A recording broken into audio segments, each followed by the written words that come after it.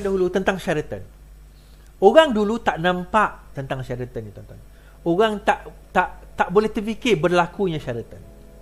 Tetapi kami di dalam Parti Keadilan Rakyat, geng-geng yang pro kepada Rafizi pada waktu itu, kami dah nampak. Kami dah ada berita.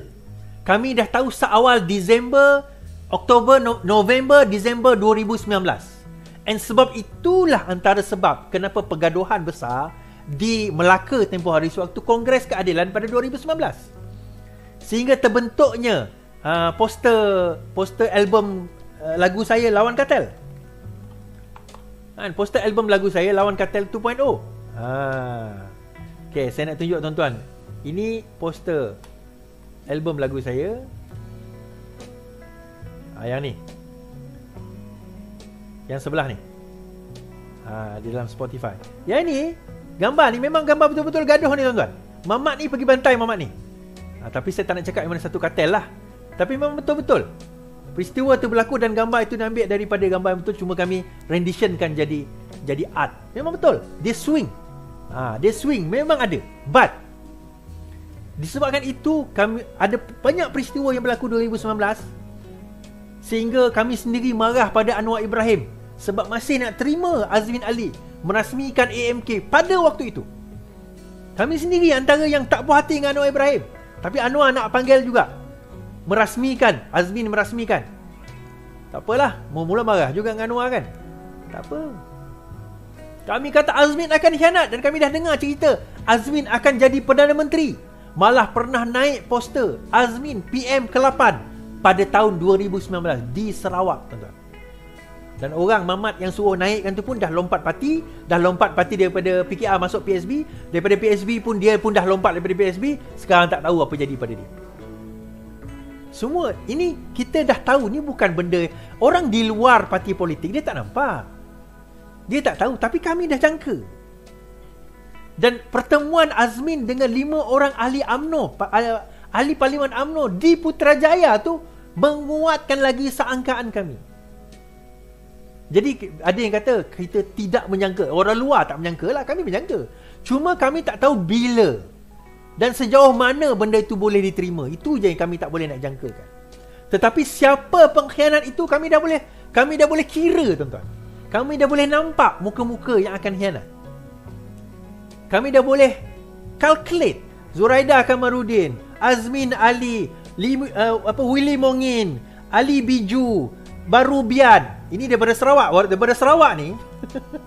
Sarawak Ali Biju William Ongin Barubian Tiga ni tuan-tuan. Saya dah sebut lama dah. Malah nama saya naik ke peringkat parti Untuk diambil tindakan.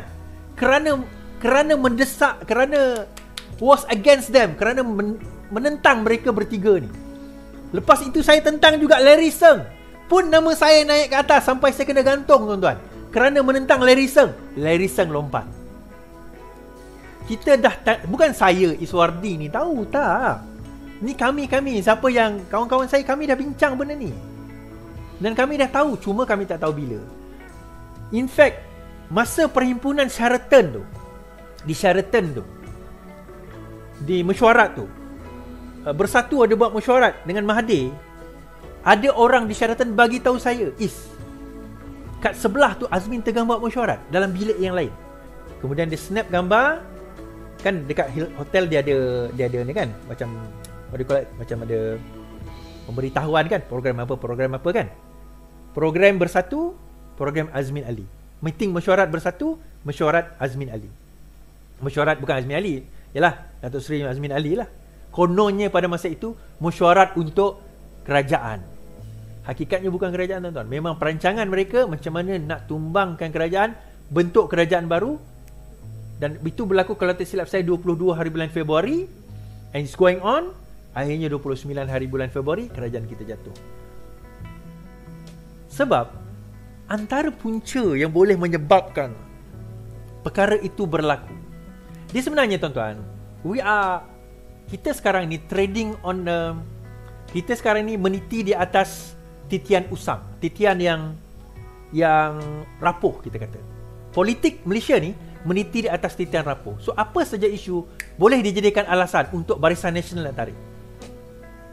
So antaranya adalah baru-baru ini AMNO Barisan Nasional AMNO lah especially telah mengemukakan satu petition kepada Yang di-Pertuan Agong agar Yang di-Pertuan Agong mengampunkan Datuk Seri Najib Tun Razak memberi pengampunan kepada Datuk Seri Najib Tun Razak.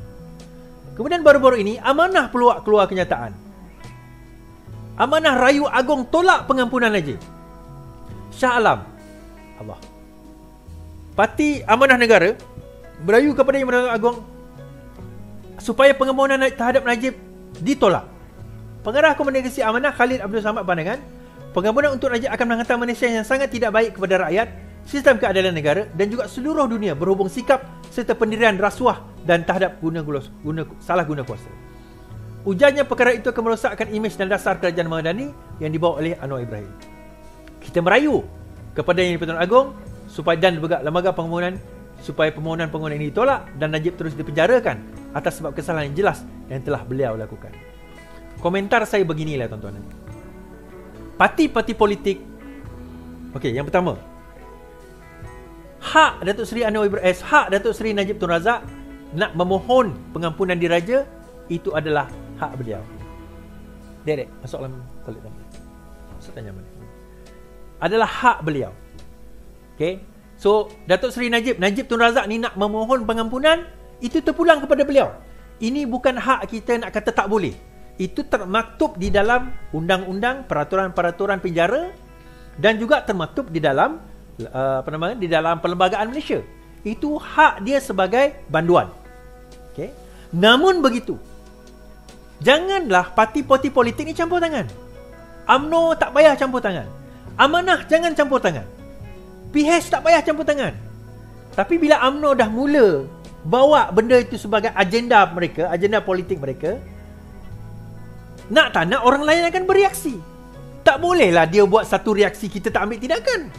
Of course kita akan bereaksi. Kan itu natural lah, itu normal lah. Bila mereka membuat satu satu tindakan, of course akan ada reaksi daripada pihak yang lain. Tapi poin saya adalah parti politik tak payah campur tangan. Biar Najib dia nak buat minta pengampunan biarlah.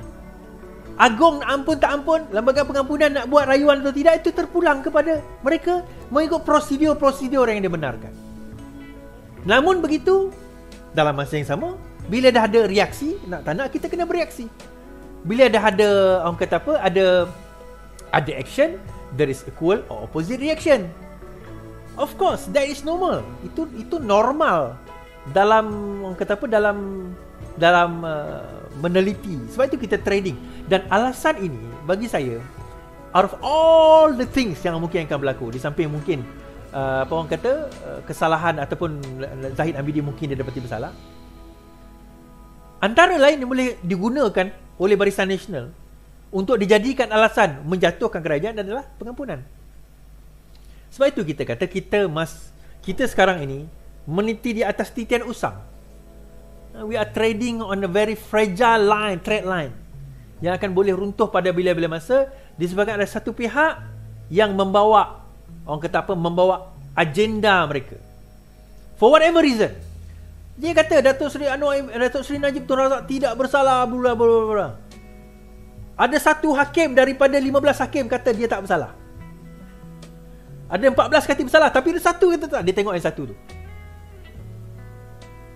kan so fine So sekarang ni bagaimana? So bagi saya untuk mengelak dan mengekalkan kerajaan Madani ni semua pihak kena ambil genjatan senjata terhadap isu Najib Razak.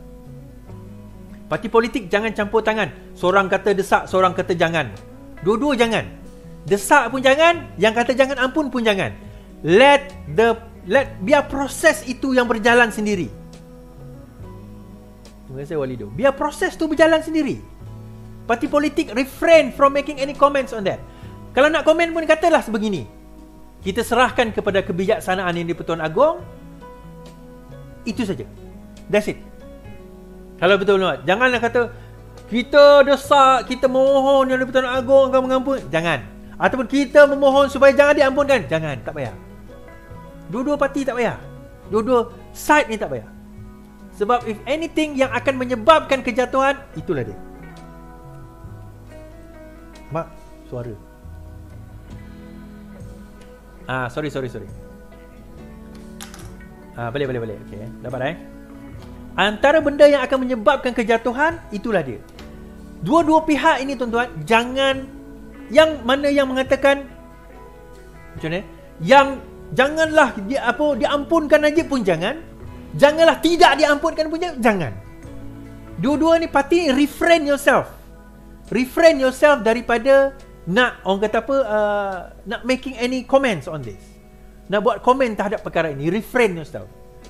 Elakkan daripada membuat komentar. Kerana perkara ini tak akan membawa kebaikan dan dia akan menjadi alasan sebenarnya. Dan satu lagi alasan adalah kesalahan Datuk Seri Najib eh, Zahid nantilah. Kalau Zahid dia betul bersalah, then will be a problem. So, biarlah, biar yang dia betul agung tentukanlah. Salah atau tidak itu hal beliau lah kan. Ha, kita nak kata macam mana baginda nak tentukan, tentukanlah. Kita tak boleh nak uh, tak boleh nak nak komen panjang-panjang tentang perkara tersebut. Okay.